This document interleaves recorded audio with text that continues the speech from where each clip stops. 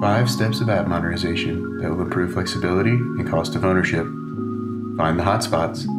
Find the modules that are used most frequently by end users or changed most often. These hotspots are usually bottlenecks either during development or runtime. Prioritize by economic value.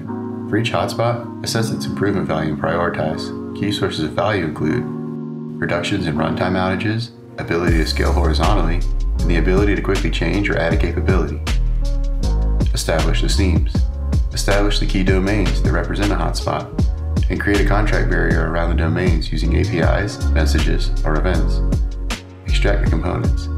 Develop automated tests to validate the component's contracts and extract the components. Wire the extracted code back into the application via the new contracts, and verify its behavior has not changed.